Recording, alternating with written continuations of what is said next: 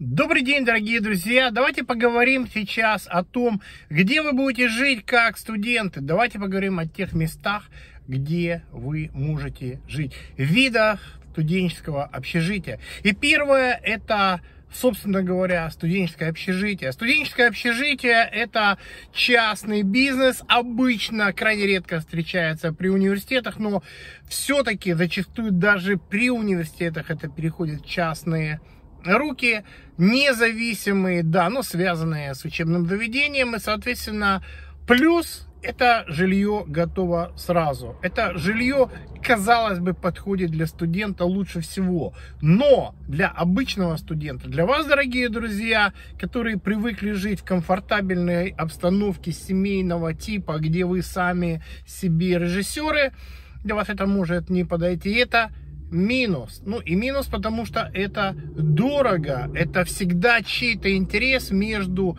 теми, кто владеет этим жильем, на самом деле владельцами этого жилья, и вами всегда входит один или два посредника.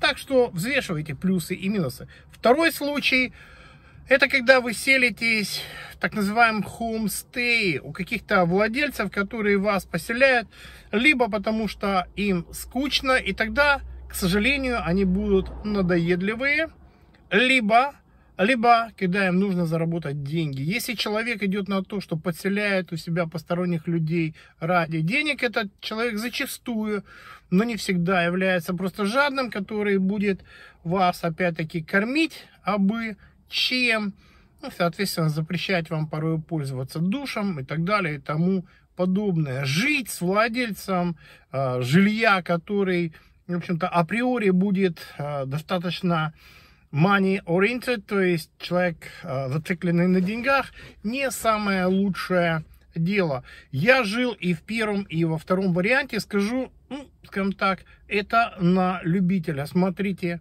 сами. Третье, это когда вы находите жилье через какие-то гам-3, через какие-то ресурсы, а, которые а, для всех. И, соответственно, там очень много кидалова. То есть ты можешь приехать и увидеть, что все в грибке, что что-то пошло не так. Деньги тебе уже не вернут. И если вы хотите заработать себе а, геморрой, то, пожалуйста, можете на это как бы а, на такие объявления обращать внимание, но тут как бы ваша ответственность, вы сами за всю отвечаете, и я лично мое мнение, я считаю, что это далеко не лучший и не самый надежный вариант. Есть еще подселение через своих ребят. Здесь очень важно то, что мы создали большую систему, и в подавляющем большинстве эти ребята а, помогает вам достаточно значительно. Вы же приезжаете и уверены в том, что а, вам будет легко, вы живете с людьми близкими вам по духу, вы уже хотя бы заочно знаете этих людей. Комбинация с студенческим общежитием, это такие люди, как Дэниел Блус, и такие, как Денис с Александром, мои бывшие студенты, и нынешний, кстати, студент. И друзья, это люди, которым можно доверять, но как бы а, иногда у людей не складываются человеческие отношения, отношения. Здесь, опять-таки, стопроцентных гарантий успеха нет, но это тоже неплохой вариант.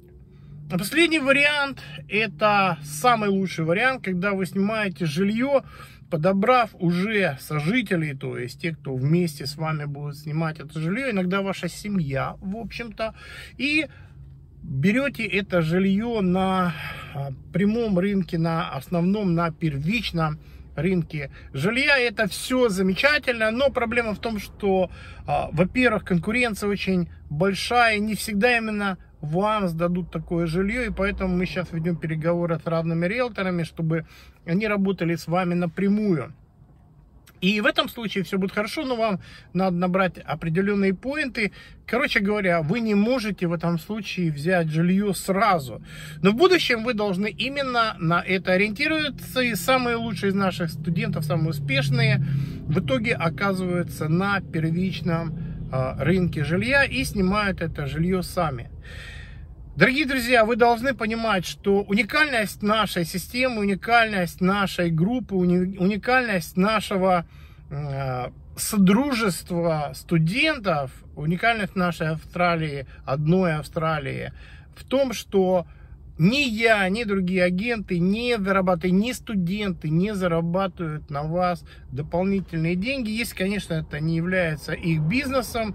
А опять-таки и Дэниел, и Денис, и Александр молодцы, они хорошо ведут свое дело, но в остальном а, все те ребята, которые вам что-то советуют, эти люди не преследуют никакой материальной выгоды, в том числе и ваш покорный слуга, образовательный агент Александр Петров, и это крайне редкое, можно сказать, уникальное явление в этом бизнесе, вообще в жизни студентов, русскоязычных, по крайней мере, студентов в Австралии. Присоединяйтесь к нам, становитесь нашими студентами, эмигрируйте с нами в эту замечательную страну, и вам будет счастье, потому что здесь и с нами лучше, чем где-то еще и без нас. Спасибо.